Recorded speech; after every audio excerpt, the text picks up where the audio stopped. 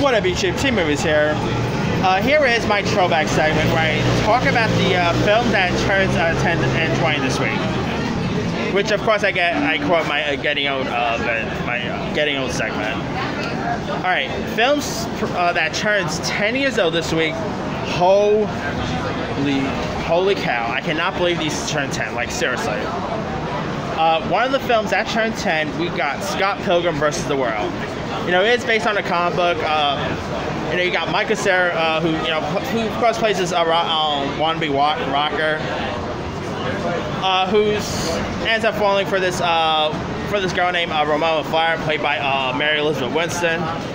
And in order to win her heart, he has to fight off her seven evil exes. This starred Captain America and Captain Marvel here. You had Chris Evans and Brie Larson. You had um, Aubrey Plaza, uh, Mae Whitman, Jason Schwartzman. It's directed by Edgar Wright. I love this film. It's really fun. It's entertaining. I'm I still wish we got to see a sequel. But there are rumors that we might get like an animated thing. But I still wish we got to see a sequel. I mean, 10 years later, this movie still holds up. Okay, it doesn't get talked about as much as most as it should, but it's still really awesome. You know, probably one of Michael Cera's best works. If you literally never seen uh, Scott Pilgrim yet, do yourself a favor, give it a shot. It's a really fun flick. Alright, also turning 10, we got the first Expendables movie. You know, directed by uh, Sylvester Stallone, starring Sylvester Stallone as uh, Barney Ross. Uh, probably one of the best action uh, uh, action um, stars ensembles were in this. You got the likes of Jason Statham, Mickey Rourke. You had uh, Jet Li, uh, Bruce Willis, Arnold Schwarzenegger. What a really cool um, action cast you got here. Uh, of course, it ended up falling off by uh, two sequels. You know, there was Expendables 2, which I think is the best out of the franchise. Then there was the third one, which isn't as great. Like, it's been stepped down from the uh, first two mainly I think it was the PG-13 rating that kind of hurt it. But the first Expendables is just loads of fun. Great action. Uh, the chemistry between the cast are all solid. I'm still holding out we'll see a fourth one. There's been also rumors about like like I remember that the, uh, female Expendables were once uh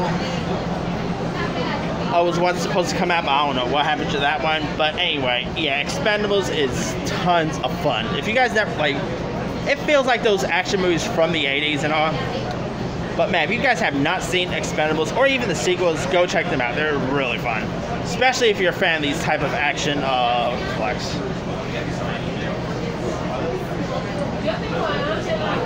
All right, also turning 10, we got uh, Eat, Pray, Love, which is based on a book starring Julia Roberts, uh, Javier Bardem, James Franco, uh, Billy Crudup, Viola Davis. It was directed by Ryan Murphy, who's best known for Glee, American Horror Story. Uh, sad to say, as much as I like Julia Roberts, as much as I like Ryan Murphy, Eat, Pray, Love was not their best work. I, I, I found the a tad bit too boring. You know, I mean, it, it will make you hungry, really. Like, this is a bit, of, this is like a love letter to food and all, and to, uh, and of course love letter to Paris and all that. But sad to say, the storyline I didn't care much for. Yet again, I never read the book, so maybe if I, you know, had more appreciation for the book, I'll probably appreciate the film more. But uh. all right, also turning 10, we got Animal Kingdom. Now there is a TV show based on uh, this, which stars uh, Ellen Barkin. The TV show is straight up awesome. I really got a kick out of the TV show. Still waiting for the next season, but I think because of the pandemic, they ended up shutting down production for that. Anyway, now that is of course based on a uh, Australian film that got released uh, 10 years um, before. You know, starring Jacki Weaver, who of course uh, plays the character that Ellen Barkin plays. Uh, you also had the likes of Joel Edgerton, uh, Sullivan Stapleton, uh, Guy Pearce was in this. Animal Kingdom is terrific. A really terrific Australian crime film. Uh, it has, I guess you could say it's a bit like um, the like an Australian version of The Sopranos in a weird way. Uh, it's a pretty fun flick. If you guys haven't really seen the uh, film Animal Kingdom, go check it out. Like, if you're a fan of the TV show, you know that show is based on a Australian film. So if you guys want to see where that uh, TV show came from, go watch the Australian version.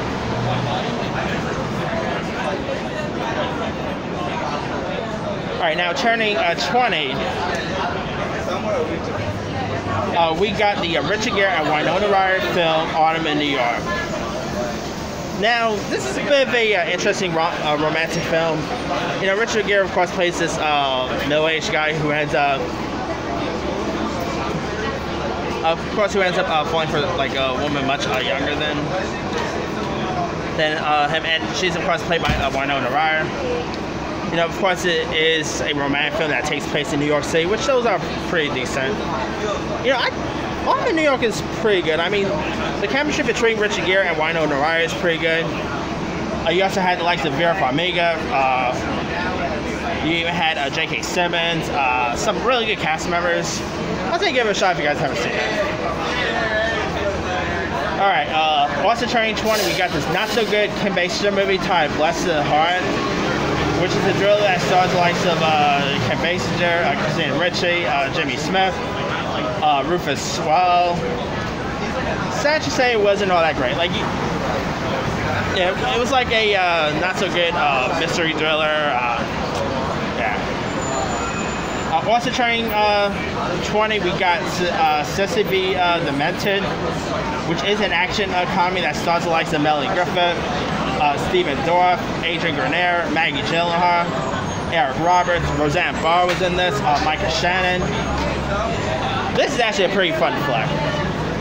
You know, it's about this like uh, lunatic uh, director and his devout cult of uh, cinema uh, you know, um, terrorists who uh, want to uh, kidnap a, movie goddess and force her to star in their underground film. So it's a bit film, like a film about the love of Hollywood. It is like a action-based comedy.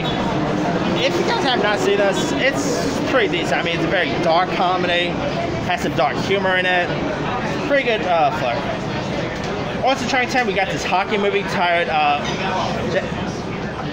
that uh, was called MVP Most uh, Valuable uh, Primate, which is like a hockey com- family comedy. You know about a primate who ends up uh, pretty much becoming a hockey player. Uh, this stars uh, Kevin Zegers, who is best known for uh, Air Bud, so there's that. This movie sucks. I mean, it's not really all that funny. Uh, you know, we've had seen few uh, sport-based animal movies before, like come on, Air Bud. Uh, there, there was a uh, movie like a uh, um, a basketball film about a uh, monkey. I think it was called Eddie or Ed or something like that. There's that. Uh, this is this is definitely not a good one. I remember they watching this as a kid, and then I you know rewatched it once. Uh, you know, just recent, and the film just does not hold up at all. It's just completely, it's completely terrible. Yeah. Crazy to turn 20 million. All right. Now, also now, also turning 20, we got from hockey to football. We got the uh, football drama, The Replacements. You know, this is of course a film that stars Keanu Reeves. You got, uh, you, know, you got the likes of Gene Hackman, uh, Faizon Love was in this. You got Jack Warden, uh, Jon Favreau. You know, this is a, probably one of my favorite uh, football movies um, in the 2000s. Uh, Keanu Reeves as a football player, come on, one more you there? You know, uh, Gene Hackman, of course, playing the coach here is pretty cool. This is definitely a really classic uh, football movie. You know, it's very inspirational, a great underdog tale. You know, if you guys never really seen the replacements yet, go give it a shot. You know, there's been lots of classic uh, football movies. You know, whether you talk about the replacements, Rudy, you know, uh, remember the, I mean, Remember Titans got released the same year as well. So, what a pretty cool year for football films there. But uh, yeah, if you guys never seen the replacements, go check it out. It's uh, it's a football classic right there. Anyway, uh, that's pretty much it.